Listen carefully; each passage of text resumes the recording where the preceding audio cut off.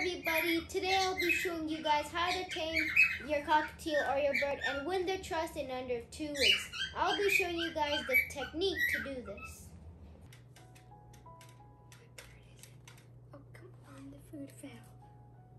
When you purchase or adopt a bird, it's most likely going to be wild.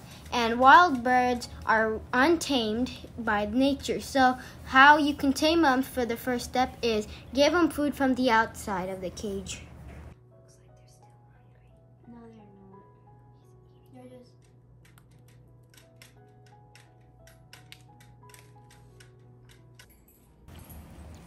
The next step to tame them is put your hand in the cage with the food in it. Then wait for them to come and eat out of them.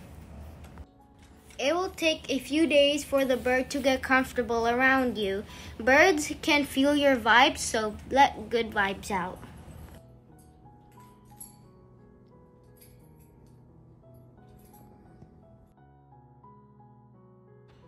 If your bird clings onto the cage walls like this, remove your hand from the cage so they can become normal again.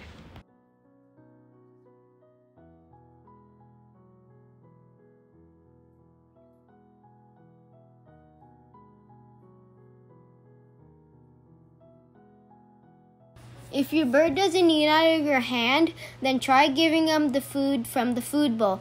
They will feel much more comfortable. Once they start eating out of the food bowl really good, try giving them with your hands and they might feel safe again.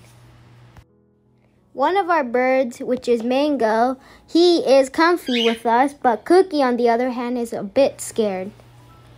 Birds have different personalities, and Mango here is sweeter, but Cookie is more feisty. As you can see, the birds will start coming slowly to your hand.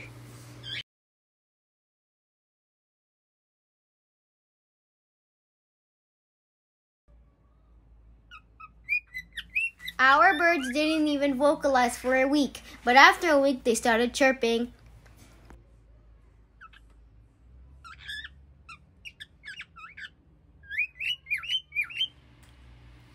You can gain some birds' trust in less than two weeks, but sometimes it'll take a little over two weeks.